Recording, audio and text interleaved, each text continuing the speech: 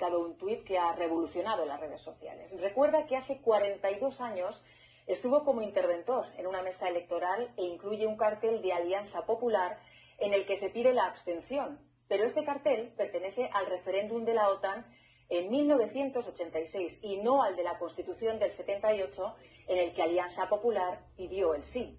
Por cierto, también recuerda que ese año votó por primera vez con 18, 18 años, pero en el 78 no se podía votar hasta los 21.